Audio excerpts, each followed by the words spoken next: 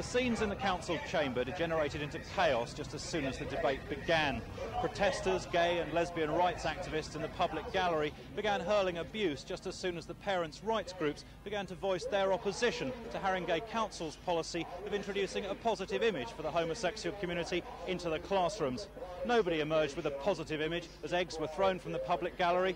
One of them hit a Tory councillor who responded by throwing the remains of the egg and a cushion at the chairman's bench. The councillor who threw the missiles was later barred from the meeting.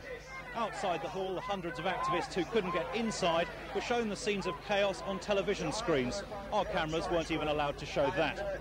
A short time ago, a man brandishing a 14 inch bayonet and chasing one of the gay activists was arrested by police. Okay.